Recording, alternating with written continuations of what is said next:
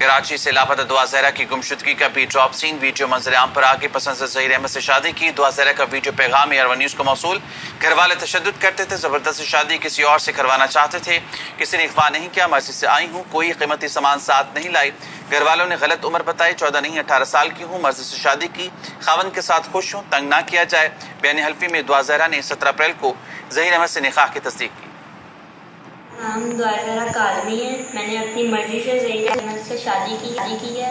मेरे घर वाले ज़बरदस्ती मेरी शादी किसी और से करवाना चाह रहे थे। मुझे मारते थे, जिस पर मैं राज़ी नहीं हूँ।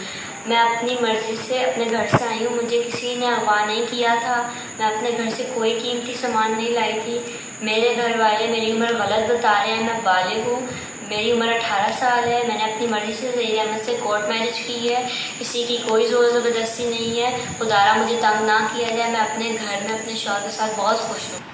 एक और अहम खबर से आपको आगाह करेंगे वाशिंगटन से